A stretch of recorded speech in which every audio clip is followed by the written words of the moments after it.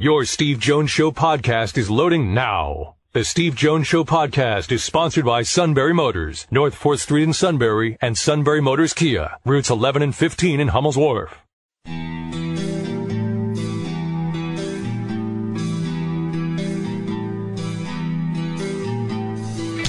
Sports talk where your voice counts. This is the Steve Jones Show on News Radio 1070 WKOK. Now, from the Sunbury Motors Studio, here's Steve Jones. Final hour of the best of the Steve Jones Show here on News Radio 1070 WKOK. Matt Catrillo here with you. Steve has the week off, but as always, in the Sunbury Motors studio. Sunbury Motors, 4th Street in Sunbury, Sunbury Motors Kia, routes 11 and 15 in Hummel's Wharf, and online at sunburymotors.com. Ford, Lincoln, Kia, Hyundai, all new pre-owned inventory, all at Sunbury Motors, 4th Street in Sunbury, Sunbury Motors Kia, routes 11 and 15 in Hummel's Wharf, and online at sunburymotors.com. Now we go back to Penn State. Another successful Thon festivities. Thon 2021 raised over $10.6 million for the Four Diamonds at Penn State Children's Hospital. Of course, it's the world's largest student run philanthropy. Each year, Thon raises millions of dollars for Four Diamonds to fund pediatric cancer research and support children and families fighting childhood cancer. And this past year's event, which featured the theme Rise and Unify, took place using a virtual format because of the pandemic to help safeguard the health and safety of all Four Diamonds families and everyone involved. And still was a successful run for 2021 Thon. And Mike Gesicki was a part of that. Of course, the former Penn Stater, now a tight end for the Miami Dolphins. And he joined Steve a few months ago talking about the Thon initiative. Steve, what's going on, man? Uh, really appreciate you having me on. It's great to have you on, as a matter of fact. First of all, where are you right now? Are you in Florida right now?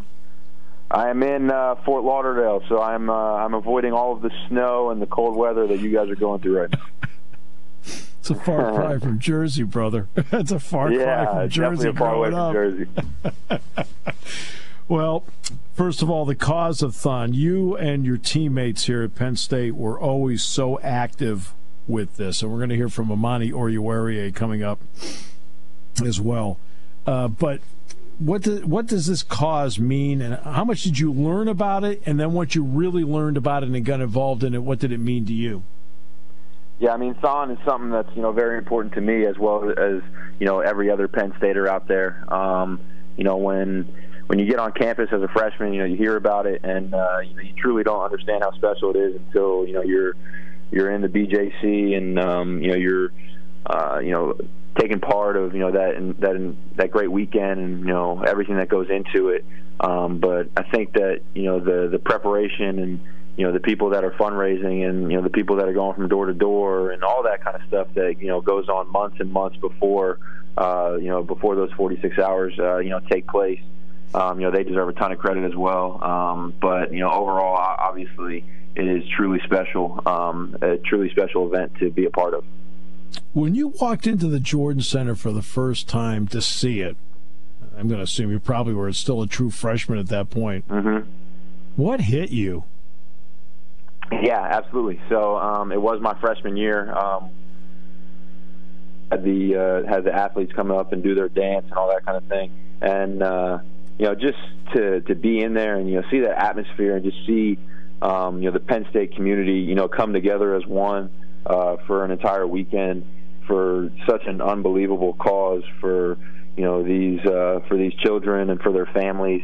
Um, you know you see you see smiles, you see tears, you see you see every emotion in that um, in the BJC. You know during those times, and uh, you know it, it truly you know goes full circle. And um, uh, like I said, you know it's something special to be a part of.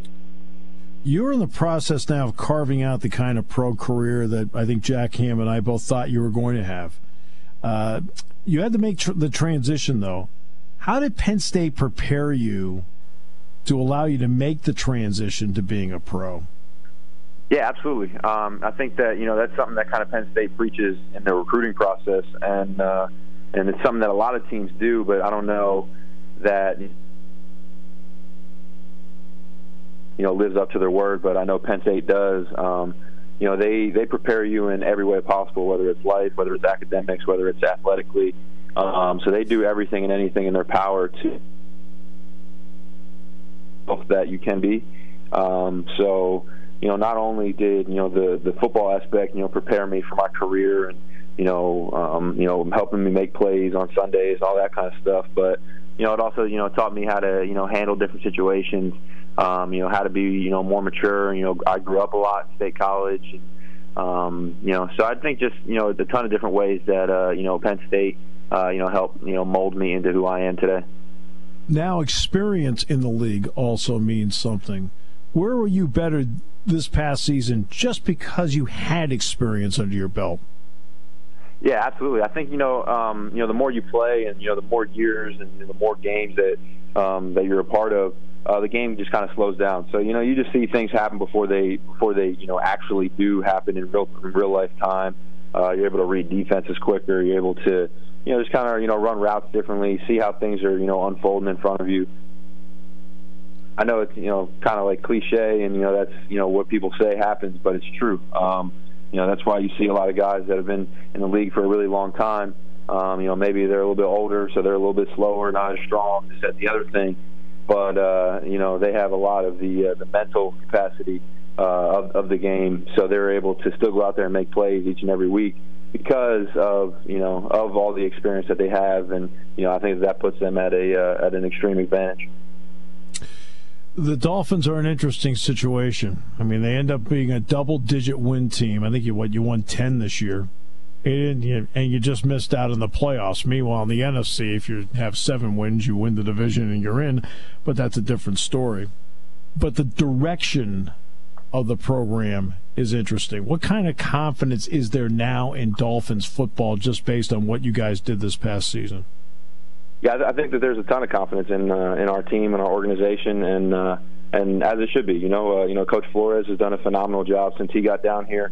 Um, you know, just kind of building the uh, the chemistry, building this atmosphere down here in South Florida. Um, and then uh, you know a lot of you know all the guys in, in the locker room have done a you know phenomenal job. Um, you know, just buying in and doing what they're supposed to do, um, and creating you know a uh, a culture down here uh, in South Florida that you know our fans deserve, and you know everybody that supports the Miami Dolphins uh, deserve. So uh, you know we're excited to continue to grow, develop, and uh, you know just keep building on it. Which now brings us to the next part. Uh, Tua Tagovailoa Fitz. Uh, interesting. What have you learned being around each? Because look, putting you in the middle is not is the right not the right thing here. What have you learned from working with each guy? Yeah, uh, you know they're both you know extremely professional. Um, I think it just goes back to you know about experience. Um, you know, Fitz is obviously a phenomenal you know teammate. Um, has had a ton of success in, in the in the NFL. He's helped me out a ton. You know, helping me you know learn and grow and develop. Uh, so I give him a ton of credit. And then Tua did a phenomenal job as well. You know, from the second that he got on the field, uh, you know, going out there making plays, playing with confidence, playing fast. You know, being a leader as a young guy. Um, and then you know I think our relationship, you know, grew and and continued to uh, you know build week in and week out. Um, so I mean, I love playing with him. Loved playing with Fitz when you know when he was in there. Um, and I think that, that speaks volumes to our locker room. You know, a lot of guys, um, you know, handled everything, you know, with with maturity, with class, and, and with professionalism. So, uh, you know, you got to tip your hats off to them as well. Uh, yeah, no question. How anxious are you to not only get back on the field, but to get on the field with a full house? Yeah, absolutely. Uh, it's I can't wait, man. It's gonna be uh, it's gonna be exciting. It's gonna be great. Um, you know, obviously, you know, there's some things that you know still have to take place in order to get there. You know, I think that hopefully things continue to move in the right direction, and um, you know, hopefully we can get our fans back in the back in the stadium. You know, kind of get that atmosphere again. Um, so, uh, you know, as long as things continue to move the, the in the direction that they are, and uh, you know, people continue to be safe and all that kind of stuff, uh, definitely something that all of us athletes, you know, not just football, but basketball, baseball, everything. Um, and then the fan aspect as well, you know, from their uh, point of view. I think everybody's excited. Um, so uh, it's definitely something to look forward to. I don't think the Marlins attendance has changed at all. No, it's a different story. Uh, uh, finally, back to the original point that we had, and that was talking about Thon. In this virtual weekend, what are you encouraging people to do? Yeah, I think the biggest part um, of this entire you know weekend is obviously, you know, you know, understanding the the big picture of you know why uh, you know this weekend's taking place, um, you know, helping out, you know, all these families and you know acknowledging um, you know their overall situation and what kind of what they've gone through, um, and then you know just bringing awareness to it so they can uh, so people can continue to donate, people can continue to help. Um, and I think that the more awareness that's brought to to Thon and to this situation, and you know to you know all of these children and their families um, you know, with uh, with this cancer. Um, I think that that's something that you know, the more people that are uh, are aware of it, it's just going to continue to grow and build and help. Um, so, you know, I can't I can't say enough about you know those those children and those families. Um, you know how strong, how inspirational they are. Um, so, uh, just going to continue to you know play my very very small part. Mike, you're special. Always have been, always will be. Appreciate it very much, my friend. All right, Steve. I appreciate it, man. Enjoy that snow up at State College, all right? yeah, yeah. Enjoy the sunshine in Fort Lauderdale, Michael. yeah, will do. I'll talk to you soon. And that is former Penn Stater Mike Gesicki. Always good to hear from him. And, of course, doing things well right now with the Miami Dolphins and the NFL. Coming up in the final half hour of the show, we're going to keep things local. We go to Bucknell football and replay our interview with head coach Dave Cecchini the last time he joined us, recapping a successful year for the Bison football program, reaching the Patriot League title game. And of course, Dave Cecchini was named a finalist for the Eddie Robinson Award as FCS Coach of the Year. So that interview is coming up in the final half hour as we continue on the Steve Jones Show here on News Radio 1070 WKOK, brought to you by Sunbury Motors.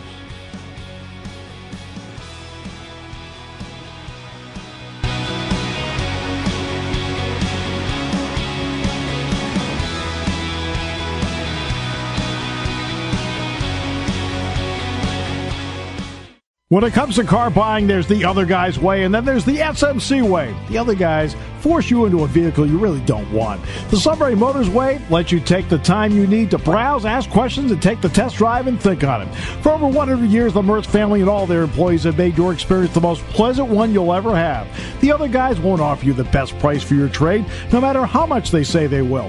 The SMC way is their promise to provide you with the most money the market shows your vehicle is worth. The SMC way is to offer you all applicable factory rebates on new vehicles and generous discounts. Looking for a pre-owned vehicle? The SMC way checks each vehicle with a 200 mile radius to determine the lowest price, then beat it.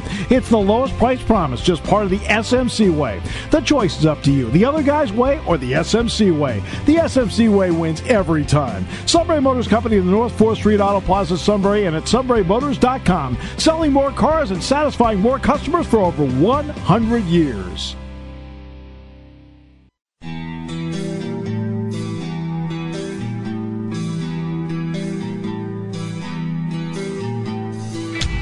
Sports talk where your voice counts. This is the Steve Jones Show on News Radio 1070 WKOK. Now, from the Sunbury Motor Studio, here's Steve Jones. Final half hour of the show here on a best of the Steve Jones Show on News Radio 1070 WKOK. Matt Catrillo here with you.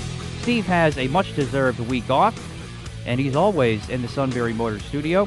Sunbury Motors, 4th Street in Sunbury. Sunbury Motors Kia, routes 11 and 15 in Hummel's Wharf, and online at sunburymotors.com. Ford, Lincoln, Kia, Hyundai, all new pre-owned inventory, all at Sunbury Motors, 4th Street in Sunbury. Sunbury Motors Kia, routes 11 and 15 in Hummel's Wharf, and online at sunburymotors.com. We go now to Bucknell football, a successful years, one of the more successful years for the Bison football program.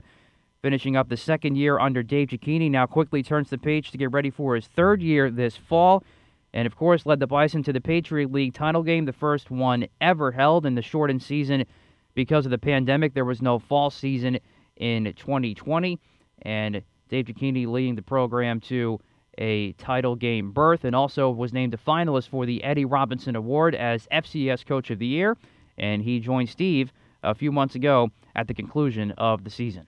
Yeah, it's great to be here, Steve. Uh, what was your reaction when you found out? Now, look, I know that this is a, this is a team game. It's a real team game for the coaches. But the fact that you and I'll say on behalf of your coaching staff were represented with being a finalist for the Eddie Robinson Award. Well, I, I tell you, it it's humbling, uh, but it really is a testament to our staff. Um, you know, this this year being so unique, uh, just to get your team to the season itself, just to be able to play uh, a game uh, became a challenge uh, in itself, and and uh, we did a, a great job. I, I've got a great group of young men uh, who are assistants that um, you know uh, worked tirelessly. Uh, we were short-staffed for most of, of the year.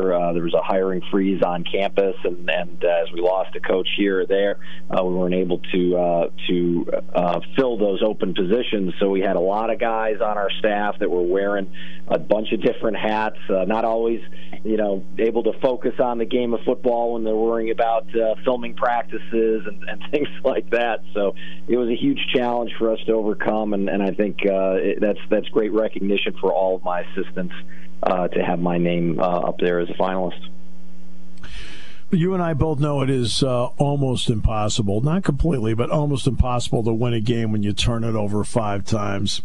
Uh, in the in the end, I mean, how much did that put you behind the eight ball trying to fight uphill all afternoon? Yeah, it was uh, it was terrible. It was it was nearly insurmountable. Uh, right from the second offensive snap that we ran, we, we threw an interception, which was a great play uh, by the Holy Cross inside linebacker. Phenomenal play. You just got to shake some of those off. Those happen sometimes, uh, but uh, we just kept compounding it. You know, we, we went down seventeen nothing early. Nobody on our team panicked. We're a veteran group. We hung in there. We dug in. Started playing better defense and tackling. Started moving the ball on offense. And we were slowly chipping it away and going into the second half, chipping it away. But then again, our last four possessions of the game, when we needed points, when we needed to to finish that comeback, uh, we threw three interceptions and, and unfortunately had a bad snap uh, go over our punter's head for a safety. And man, that's a tough way to end a season. to to be close, to be involved in a championship game, and then, and then that uh, to be the kind of the the taste that's left in your mouth after it's all said and done from from one really bad quarter and a bunch of turnovers, unfortunately. All right. Um, as a coach, when did you start thinking about the fall? Saturday night? yesterday? yeah, definitely Saturday night. Uh, uh, it's it's you're always thinking. You're always moving on, and, and you have to be forward thinking, particularly when the fall is just around the corner. It's not like a normal season where you know you've got uh, nine months to, to slowly get through recruiting and reevaluate, watch your cutoffs, you know, uh, analyze the season, what you did great and what you need to work on, and and we're just on fast forward right now. We've, we've got to get caught up with recruiting here in the spring, and, and we've got a season that's that's coming up four months away, and and so it's it's uh, less than half the lead time you know you normally have getting ready for a season. So so really just the circumstances force you to just think about that. You know there there, there really is no time to dwell on what happened. It's about hey how are you going to get your you know this this group uh, of young men that are returning and an incoming class of freshmen how you're going to get them ready uh, by the time August rolls around here and and uh, the next season's upon us. So let's pick up on that theme right there. Of the players that you played this spring that will be back for the fall, what kind of foundation do you feel that you laid so that when you get to training camp, you're on the fast track with certain things?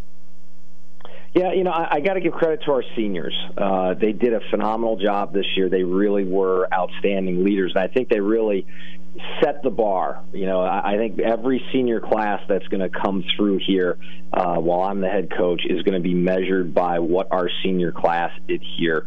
Uh, again, with the amount of adversity and you know how easy it would have been for a lot of them, like a lot of schools where guys just opted out of the season and or, or went into the transfer portal and, and left. We didn't have a single player that didn't come back. Nobody transferred. Guys stuck with it, and and uh, you know a lot of the reasons why we were as successful as we were this this season was because of them. Uh, so they've they, they've built that foundation. Now we're losing a lot of good football players, particularly on the defensive side of the ball. Right. So there there's a void that's that's there that uh, we've got some good young players that that need to step up and have great you know summers here and preparing themselves to to move into starting positions. Uh, on the offensive side of the ball, we're a little bit uh, better in terms of the amount of players uh, that, that come back. And we lose Logan Bitterkoffer, our starting quarterback.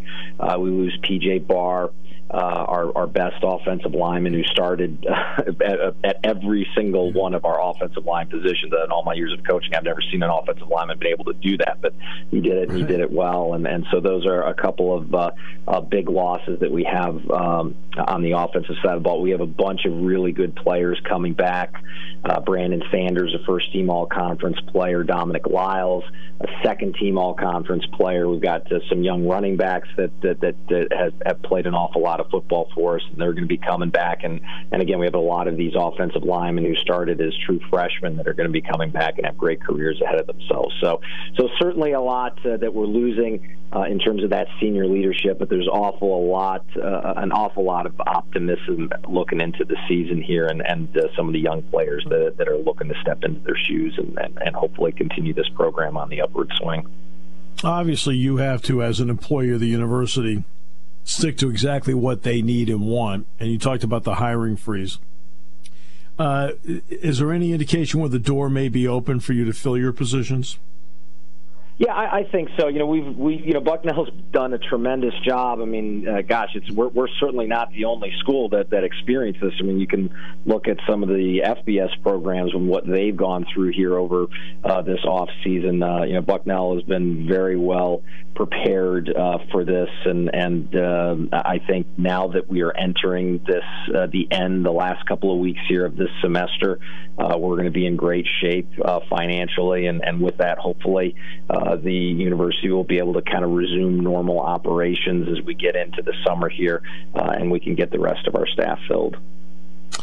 Okay, so how do you want to handle this off season? How do you want to handle? Have you started to think about how you want to handle the preseason since you played four games and played four games into mid to late April? Yeah, a- absolutely. I mean, that's that's big in your thinking. You know, you, you've got a turnaround time that's a lot shorter. Uh, four games isn't a lot, but it's still, you know, so we've got some players that are working on injuries and are going to have to to heal up. Uh, so we're going to have to be uh, more careful in August than we have in a typical preseason camp, which you know sometimes you can liken to a meat grinder, right? You just grind through it and have a lot of uh, long days and a lot of contact, and you get you know these guys just toughened up and and and that's not going to be the way that we're going to be able to approach camp uh, in August. We're going to have to make sure uh, that our young players get a lot of snaps, our incoming freshmen, uh, and but the guys that are returning, we're going to make sure that we need them. We got, we we worked through you know what wound up being uh, uh, you know kind of like a uh, a spring ball on steroids, right? We practiced instead of one month and 15 practices.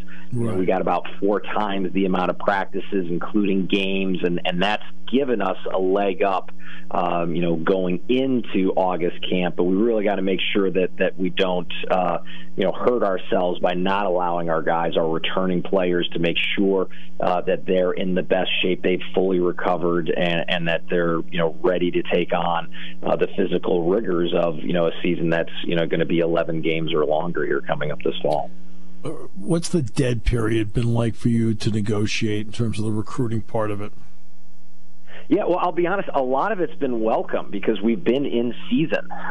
you know, if you right, think no, about exactly. it, normally yeah, that helps. throughout uh, May and and uh, you know parts of April, we're out on the road recruiting, and and uh, just with having the rigors of, of dealing, the logistics of dealing with the season, uh, it's it's been a little bit of a godsend uh, for us. I mean, that being said, we're definitely behind uh, like any other school in the normal recruiting process. But uh, that that is something that uh, I, I don't know how many times I said to myself, "Gosh, thank goodness uh, you know, we're in the middle of a season right now." Because uh, if, if other teams, uh, FBS or FCS level teams, if they were out on the road recruiting while you know we were uh, you know out on the practice field, the game field, getting ready for football games, uh, that really would have put us behind the ball. Obviously, the uh, the recruit is not just recruiting, but obviously there's transfers. Now, basketball is far more pronounced. I mean, Nate Sestina went to Kentucky from Bucknell. John Meeks just ended up going to Charleston. Here, I know Barney Amor, is the former punter at Colgate's, transferred in, and he's here. Do, do you have to recruit re-recruit some of your own players? Is that any thought for you uh, at Bucknell, your level? Uh, well, you you always have that. You know, that's that's a part of the college game, and as the NCAA loosens its restrictions and, and gives more power to the student athlete that it has become a bigger and, and bigger part of uh, just uh, retaining uh, your your uh, uh, student athletes, not just recruiting them. So it is a part. We're very very fortunate at Bucknell that you know we're, we're talking about you know really less than five percent of our team. So you know most of the players. One of the nice things of, of being at, at, a university that has such a, a rich and well deserved academic reputation that we have, there are a lot of players that are here. Understand the value of a Bucknell education. They're not just going to college so that they can play football. And that when that's the case, you tend to get people who are going to stick it out. You know, they might not be a starter, they might be a backup, maybe even a backup to someone who is a year younger than them, you know, eligibility wise. But most of our guys have a great head on their shoulders. They're mature, uh, and because they enjoy just the overall experience of Bucknell, uh, they tend to stick it around here a little bit longer than I think at most institutions.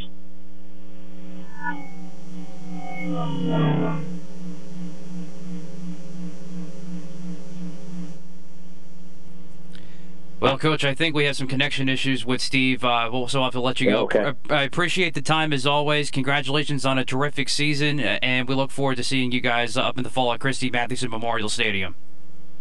Sure, no problem. You guys take care. And that is Bucknell head football coach Dave Cecchini from a few months ago. After a successful season for the Bison football program, it is good to see this program start to take some of those next steps and looking forward to what they have in store for the 2021 season. Going to be a challenging one. A lot of good teams on the list on the non conference schedule, and of course, the conference schedule always tough for the Patriot League. So we'll look forward to that in the 2021 fall season for the Bucknell Bison football program. That's going to do it for this edition of the Best of the Steve Jones Show. It was fun being localized today. Our thanks again to Micah Shrewsberry, Steve Keener, Mike Gesicki, and Dave Cecchini. And thank you for tuning in as well. Today's show brought to you by our good friends at Sunbury Motors, 4th Street in Sunbury, Sunbury Motors Kia, routes 11 and 15 in Hummel's Wharf, and online at sunburymotors.com. You don't want to miss tomorrow's edition of a Best of. We're going to relive NFL Draft Day from round one from this past year. Mel Reese, Reuben Frank, Pat Freiermuth, now a Steeler, and the voice of the Steelers, Bill Hillgrove, all coming up in tomorrow's show. You don't want to miss that. We'll talk to you tomorrow on the Best of the Steve Jones Show on News Radio 1070 WKOK.